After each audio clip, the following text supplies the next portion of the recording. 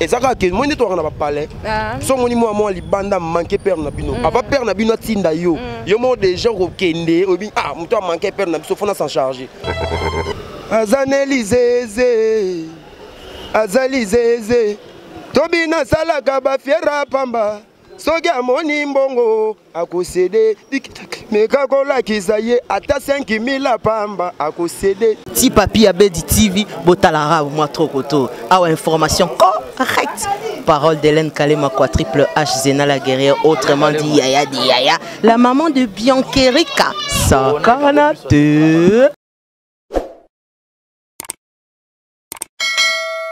Bonjour, bonsoir, bana poto, bana Paris. Hein? Bato nyonso baolanda biso na minute oyo donc toza lelo première euh, répétition ya Koffi Olomide après déconfinement donc toza na Oshwe. Hein, esika makambo yango evandi donc euh, esika makambo bavie na biso Koffi evandi donc toza mobondo ya ba musiciens donc répétition Kafu.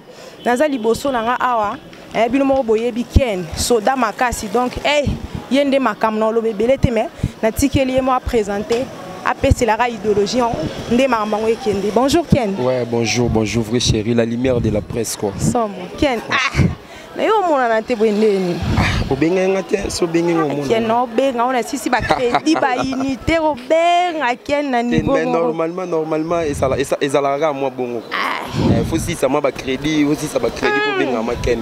Ken. Mais na lingi pour ça na bien, au sala batu nyonso ya team papi ya Bedi TV, ah, ba abonné nyonso ya team papi ya Bedi TV ba yeba ke nde zabwe na minute so ken aza na kati ya masolo ya team papi ya bedi tv yo moko se présente bayeba yo na bango bayebi yo na bango bayebi yo te Ouais, nga Ken Soda yeyo. Ah. Ken Soda yeyo l'animateur de Quadra Coraman mm. mutu la fierité migolo yeyo. Mm. Et ça dit que non linga loba loba trop te. Mm. Bo pesa ka temps, bo pesa pe chance. Mm. Bo yoka makambo eza kati na nga mm. bientôt. mpo ngai nayebi ke na poto botalaka nga fort mm. nalobi susu bosabone na chaîne na bango papi ya beli tv team papi ya beli tv team team papi ya baby tv sadi bosabone bosabone bosabone bosabone mpo ngai daye nakotisi makambo yango eh, ntango ngai nayaka makambo yango mpo quadragora da abenga ngai soda ntango ngai nayaka makambo yango ezalaka mwa misika ngai azalaka mpe yo oyebika ngai na mwa shokwa biso nyonso tosabone massivement na Team Papi Abedi TV. Ken soda soda makasi. Balobi moto opena après Kofi alanda la landa landa mwana sima mingi eza ye. Avant tokota na sujet na biso mokolo ya lelo mpo toana répétition liboso après déconfinement na na ndako ya Kofi awa esika masolo evandi. Avant tokota na sujet na biso kokobetela biso mwa lisolo moke ya quartier latin kobanda yo koti betela biso moyelo mwa moke toyeba mwa moke te kobanda ngai nakoti quartier latin nayebi biso nyonso pepele mm. kotaka na baorkestre wana nazalaki nayaki na batensra boye te mm. na ndolata mpe boye te mm. eh, nayaki mpe na makambo oyo naa nango lelo te eh, mais lelo siko à travers quadre coura nakomi na makambo oyo naa nango sadike ekomi mpe mpo baoluka mpe na mwinda bazwa yo so na bandenge nini so bandenge nini wana à travers le quadre mm. c'est-à-dire que quartier latin eza grand mouvement mm. ozo comprendre bon nayebi te na ndenge mabe te na ndenge polémique te nga vraiment na kisasa mm. namona so lelo na bino alongwa mpa kofi namona orchestre oke te omona orchestre okende te franchement ebele banouvelle talent ebele ebele baza non non naoloba par rapport ke orchestre ya quartier latin eza grand orchestre na kati ya afrique mm. ozo comprendre eh, sikoyo ngai ntango nabeta de na quartier te namoni nde nabeta na brésil mm. nabeta na barça te barça eza club naotya na équipe na nationale ah, oui naobeta lokwa naobeta na équipe ya brésil mm. naobeta lokwa na espagne naobeta lokwa na france ozo comprendre sikoyo donc ebeta na ba na na, na RDC pe c'est mon pays quoi mm. hein mais donc ebeta siko na ba Malawi po ba orchestre les aloka ba Malawi ken soda tokota mwa mwa moke na makambo yango ezosala mwa pitopale tozoyeba te nani aza mabe na na malamu tomoni euh, vie na biso adolphe dominguezi mwa rankine moke eza na vie kofi olomide o juste baowela nini bon ngai moi na bai na mambo wana nakoya kosolola yango te mm. eh, nakoya kosolola yango te vraiment baba niveau moko to ndeni te ngai nakoya kosolola mama wana tomoni quoi d'accord ah. mm. aza vie moko boye alukaka baproblème na motu te mm. omoni bato baka na baproblème na kofi so meki oke etuna bango luka bango na bacaméra na bino tuna bango omonaka na amonani kofi te amonaki kaka na tv mais alobaka ke no vie wana vie wana vie wana donc mpo na ngai na na réponse akopesa wana te boluka mutu oyo aza na problème ya kofi botuna ye mais yo na kofi bozowela nini hmm. po ye quadra ye moko kutu estce de bomona ma kofi aleki na tv wana ndoloba boye boye boye boye biso pv wana alingaka te totanga makambo ya bato na tv po totalaki kene na kati oyo te totali na émission moko boye batuni kaka adolphe ndomingezi balobi ndeka likambo ya kofi atelemaki ye wana econcerne yango nalobi boluka ye botuna ye mais pourquoi soki batuni yo makambo ya lequadra otelemaka okendaka ye nda koyeba parce que quadra aa na problème na ye te mpo na émission moko boboyaki olobi ya na niveau ya kofi te jamais kofi azaka ye moko na monde entier mobimba kutu toloba na monde na monde entier te tolongola no monde entier na congo kofi azaka ye moko jamais bokokokanisi na badolphe dominguez na émission moko boyaki memeluani wetu abalengela baji bakobingelaka moto mabe Number one oh. Oki. Mm. Aza number one. A ah, number one. Eh, aza number ah, one. Soki ba docteur. Kotanga na benga numéro 1 faut comprendre que aza numéro 1, aza mm. number 1. Mm. Te kokotsa nga na makambo wana te. Ah. Prise na biso alingaka te toleka na ba TV to ba makambo bato. Sinon te suspension elanda nga na sima so na oloba makambo wana.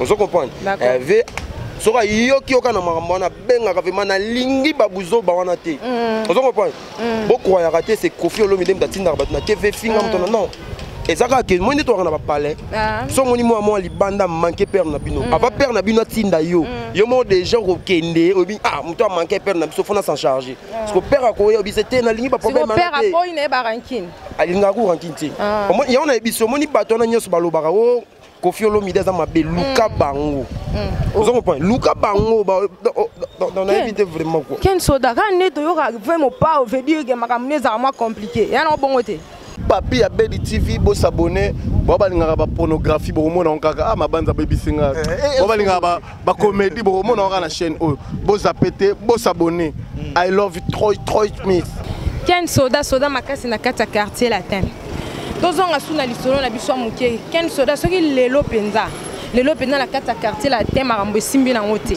opréféré mpenza okende wapi ube ovanda na yo toluka ata mouvement moko boye ya bafere gola to na wenge maison mare to pa fali pupa est ce que orchestre eleki quartier latin na congo eza ah ba génération ba kofi olomide mpe bazali eh.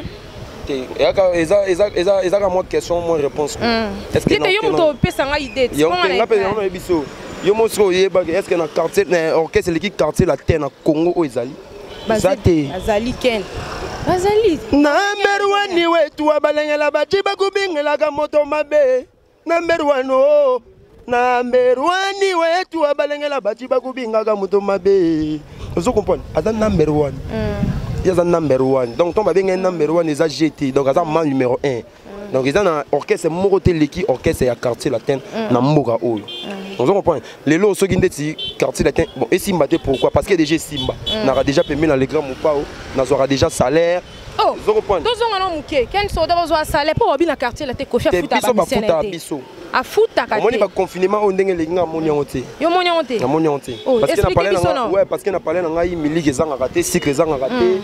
eh, donc ndako mpe afutaka nafutaka pale te kofuta oyo afutaka nga wana yango esalaka nga nafuta pale omoni le quadre aza lokola papa na mama ya, mm. ya se mm. ozo comprendre mm. balobaka boulot eza papa na mama mm. sikoyo mosala yango napesi nga se quadrat mm. donc ye na remplace sikoyo papa na mama papa mm. babotanga kaka na apparaître na kati ya mokili mm. ozo comprendre mm. sikoyo kofi aza lokola adopte ngai apesi nga boulot nde mm. komopesa nga makambo mm. c'est ça mais salaire ça va makambo te salaire vraiment ça va ça va vraiment ça va tozomona mwa batentire bien mwa mm. kolata bien mwa donc ça va vraiment ebele mm. na baorchestre baobeta baopema lokola ngai napemaka te kua pole polesha na londres mm. pole polesha na londres paulin polesha le manager hein? le manager aa na mwa mamaka moko ya bien aa na mm. bainitiative moko ya bien oyo oh, vraiment soki lelo esimbi euh, donc nayebi te kua donc ye aa na eloko moko boye osala eskize nga nayebisa nao bato aa na eloko moko boye osala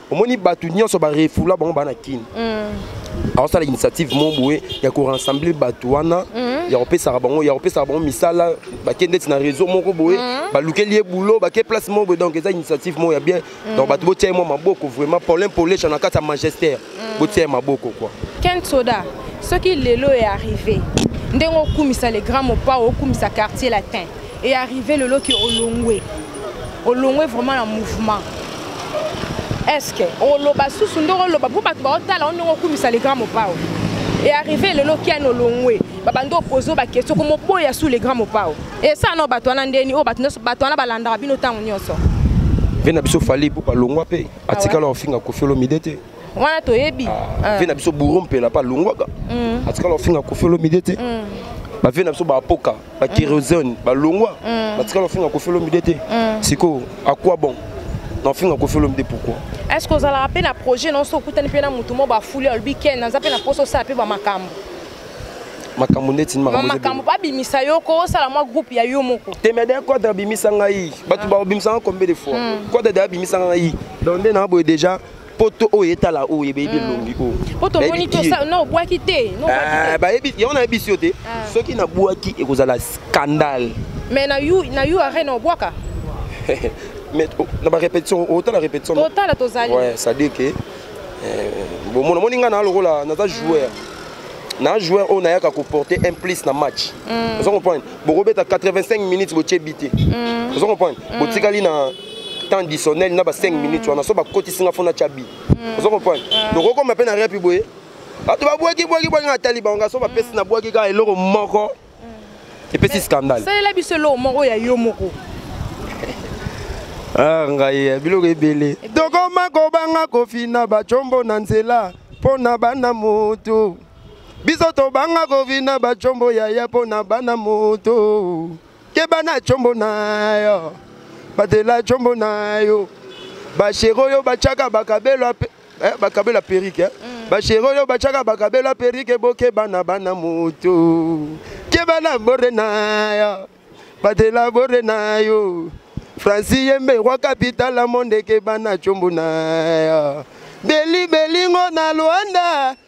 keba na combo na yo sasekene soda batela combo na yo soko ye na mwasi na yo mpa bamasa koprezentaka prezentaka ye mingi te batela nzele na yo batela yango papa ken bakisa su elo moko ah, elo mais na bien na bien bakisa su elo moko boye esala bien tala banyoso olanda na tata timba mpe abebi tibi donc bakisa su elo moko esala su ja Oh, na banga soki bato bayibaka bato bayibaka wana elombo na émission moko boye olobi olinga obwaka mingi mingi te mpo berse ayibaka bakri na oya solo we abwaka bakri nange ebele me na yeli ma oloba ngo te mpo ah. ndenge nde na bapesa mwa baimparte ebele moto na moto azala na kwe na ye pesa biso kaka mwa eloko mwa suka eh. toshite na biso aza na elizeze aza lizeze tobi nasalaka bafiera pamba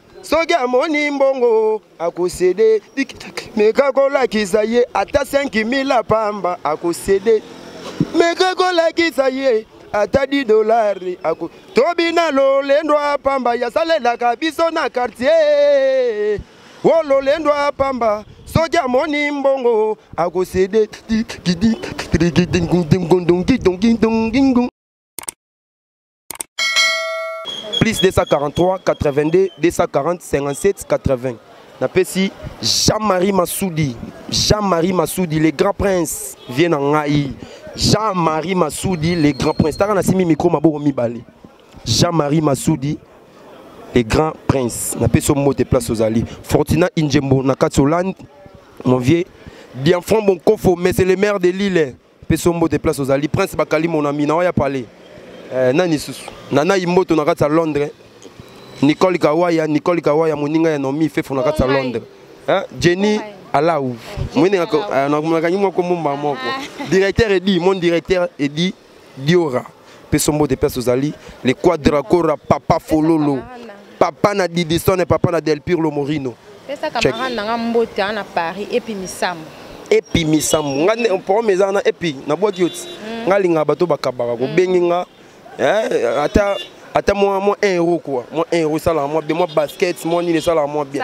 epi misambo epi misamu biso tobinisa yo misamu ok ken soda merci beaucoup tala kaka yo makambo se epesami mingi ya koloba eza toyebi kese okoti dai makambo na kati ya tim papi ya bedi tv donc so combo eleli yebaka tozali bokozwa bokobaye ah. yebi biso ozalaka sociale mm. faut nabengisa bino kuna palais boya to bayeta mwa shisha mwa wiski mwa nini mwa genre quoi ok merci ken soda nasepeli vraiment mpe nasepeli ya mingi Merci beaucoup na bato nyonso balandaki biso.